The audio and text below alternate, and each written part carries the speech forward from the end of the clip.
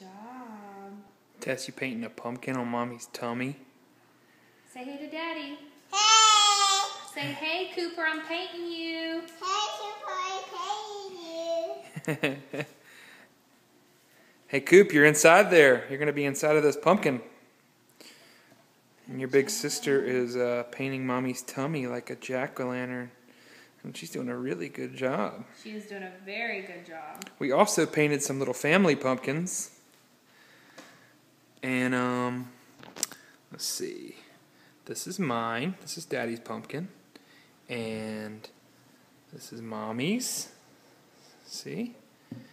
And Tess did this one. And this one we all did a little bit of. We just kind of went random with it. We don't know your taste yet. but uh, this one's your pumpkin. Good job, Tess. We'll save it for you for next Halloween. but yeah, you're uh, you're inside of this jack o' lantern right now, and we uh, we can't wait to meet you, Bubba. Here, there's a little spot right there. Perfect. Yeah. Good job, Tess. You are such a good artist.